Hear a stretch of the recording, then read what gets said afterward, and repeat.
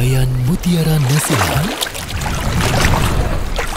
Untayan Mutiara Nasihat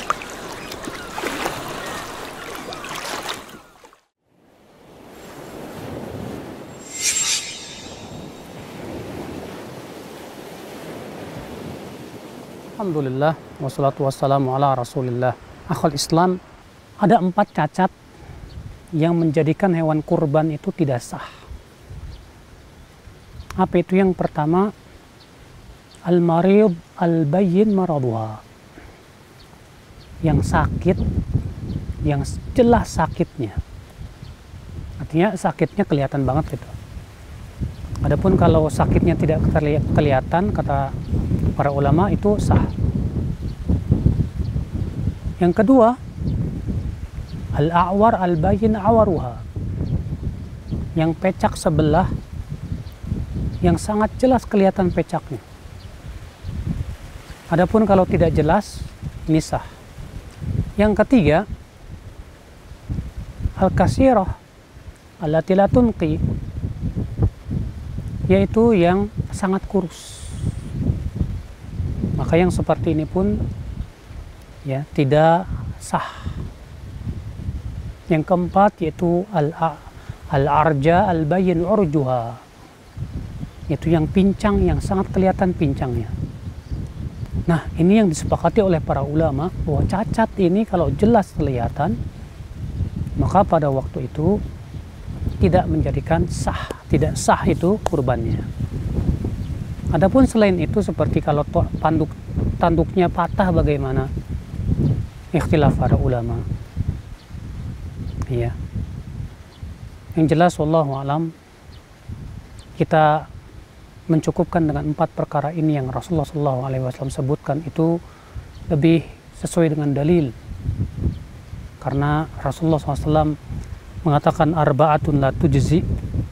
Ada empat cacat yang menjadikan hewan itu tidak tidak tidak sah tidak mencukupi.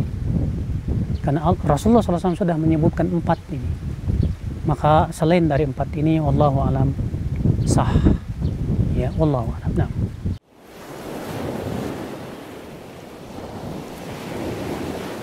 mana yang lebih baik saya beli satu ekor kambing atau saya urunan sapi bersama tujuh orang? Jawab, yang lebih baik yang paling mahal harganya. Kalau misalnya kita beli kambing satu ekor 5 juta. Tapi kalau urunan sapi per orangnya hanya 3 juta. Kita katakan yang kambing yang 5 juta tentu lebih utama di sisi Allah Subhanahu wa taala daripada sapi yang dia urunan hanya mengeluarkan 3 juta saja. Maka ya semakin itu mahal, semakin itu utama di sisi Allah Subhanahu wa taala. Wabillahi taufiq.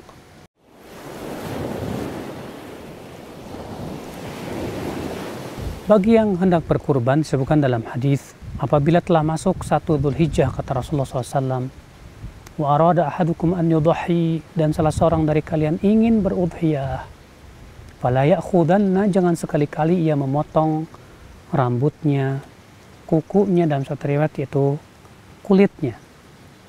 Artinya kalau ada kulit yang mau lepas biarkan saja. Demikian pula kuku nggak boleh dipotong. Rambut yang panjang baik rambut yang ada di kepala ataupun di ketiak dan yang lainnya tidak boleh dipotong maka ini perkara yang hendaknya diperhatikan ya bagi mereka yang berudhiyah. Kalau ada yang bertanya, apa hikmahnya? Hikmahnya adalah dia menyerupai dengan orang yang sedang membawa hewan hadyu untuk haji. Sebagaimana orang yang sedang berihram juga dilarang untuk mengambil rambutnya. Demikian pula ini, ada keserupaan.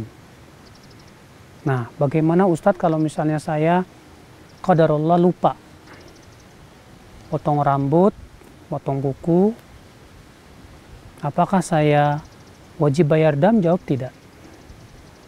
Jika kamu lupa, maka Allah Subhanahu wa taala berfirman, "Rabbana la tu'akhidna in nasina aw akhtana." Wahai Rabb kami, jangan siksa kami jika kami lupa atau kami salah tidak sengaja. Bagaimana kalau ada orang yang sengaja melanggar?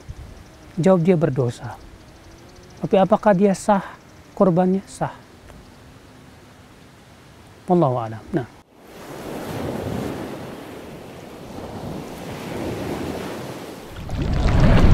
Untayan Mutiara Nasihat. Untayan Mutiara Nasihat.